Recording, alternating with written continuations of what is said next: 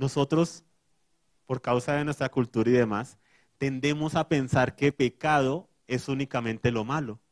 Pero lo que nos relata la escritura es que el árbol que llevó al hombre a caer, a ser expulsado de, de la presencia de Dios, se llamaba el árbol del bien y del mal. Porque hay cosas buenas que te alejan de Dios.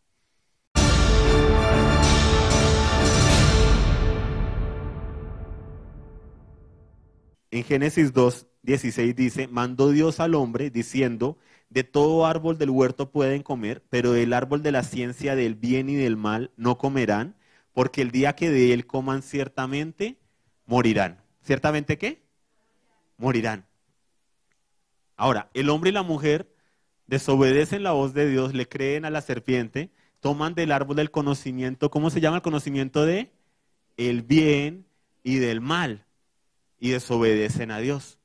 Nosotros, por causa de nuestra cultura y demás, tendemos a pensar que pecado es únicamente lo malo.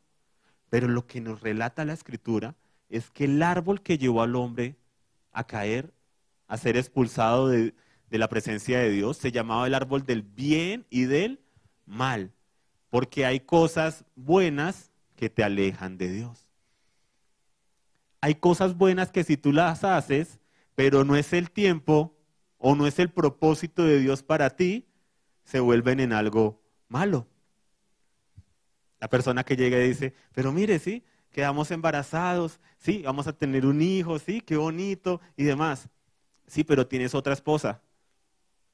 Sí, o sea, hizo algo que podría decirse bueno, es vida y demás, pero totalmente equivocado, totalmente errado, totalmente a destiempo, totalmente con la persona que no era. Entonces, uno de los mayores engaños que podemos tener en nuestro caminar espiritual son las cosas buenas, porque las cosas malas son fáciles de ver. Las cosas malas son las más obvias. ¿Sí? Los adulterios, los asesinatos, el robo, la ira. ¡Ah! Eso es lo obvio. Y son las cosas que muchas veces vemos.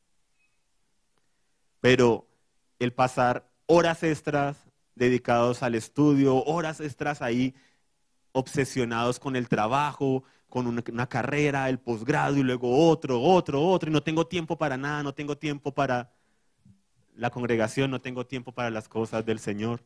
No, ¿cómo, ¿cómo voy a levantarme a orar y a buscar de la presencia del Señor si estoy trabajando en turno nocturno y luego durante el día tengo otro trabajo y tengo que hacer esto. Son cosas buenas, pero que también nos pueden alejar del propósito de Dios. Y son las más peligrosas, las cosas buenas, porque son las más sutiles, son las que más fácil nos escudamos.